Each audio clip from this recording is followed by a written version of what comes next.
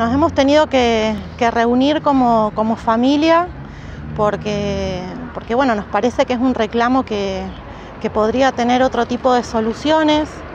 Eh, creo que nosotros como familia apoyamos que, los chicos tengan clases y que sus maestros vengan en buenas condiciones a dar clases, eso creo que no, está en discusión, sino quizás los modos, eh, que a raíz de un reclamo docente, los, nuestros hijos quedan presos de, ese reclamo y nosotros como familia, bueno, nos tenemos que convocar para, para, salir a defender sus derechos.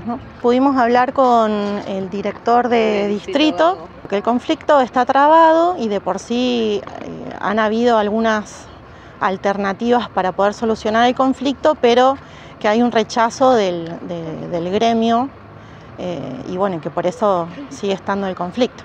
Claro, eh, nos explicaba que mm, ellos, bueno, están pidiendo en sí un transporte que no es el que está hoy funcionando, que es el transporte público, en el cual eh, los docentes pueden acceder, digamos, de manera gratuita, pero que requerían otro tipo de transporte. Y provincia dijo que no pueden acceder a ese pedido y el gremio no quiere el transporte público, eh, por lo que nos informaron, ¿no? Y bueno, y así está el tema, está sin poder resolverse y lo más importante de toda esta situación es que nuestros hijos, la gran parte de la comunidad educativa de San Patricio del Chañar, está hace dos semanas sin poder asistir a las escuelas. Eh, bueno, hoy eh, nos convocamos acá en la plaza, pudimos hablar con el director de Distrito Gago. Fuimos recibidos por la viceintendenta, que mañana nos vamos a reunir en el Consejo Deliberante para que la asesora legal nos, nos ayude a armar una nota eh, para poder presentar de manera formal y que tenga también peso, porque sentimos que nuestro reclamo no termina siendo eh, escuchado porque somos un grupo de padres autoconvocados que no estamos respaldados por nadie. Entonces eh, sentimos que nadie nos escucha porque en la escuela te dice no, que lo maneja distrito, distrito. Y así estamos. Y la única realidad es que nuestros hijos llevan dos semanas sin poder asistir a la escuela.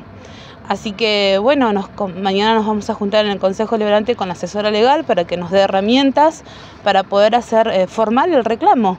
Y instar a que se busque una solución de manera urgente, porque el derecho a la educación es un derecho que no se puede negociar.